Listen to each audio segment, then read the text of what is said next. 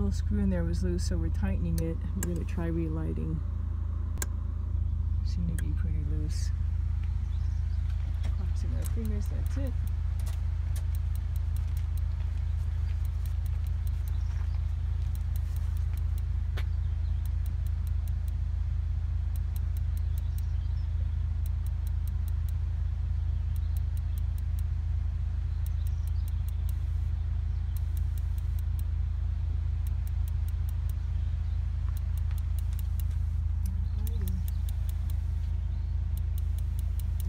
Proof.